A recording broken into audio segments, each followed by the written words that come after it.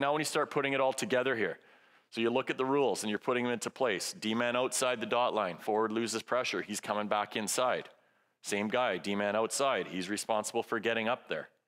Now he's going to follow that pass as quick as we can. We've got the middle protected. We have pressure down the flank. He doesn't have puck pressure anymore. He falls back in the middle.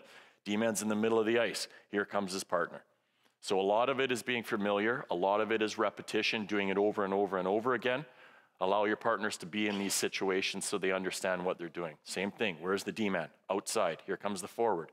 There's a wide pass that we talked about.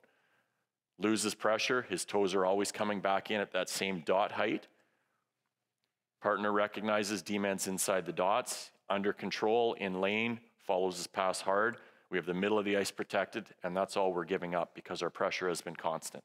And that's what you want your goaltenders to have to see shots from the outside.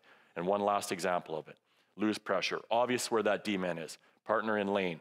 Here comes the pressure. If they want to shoot from there, we're in a position where we can get in lanes and make our goalie's job much easier.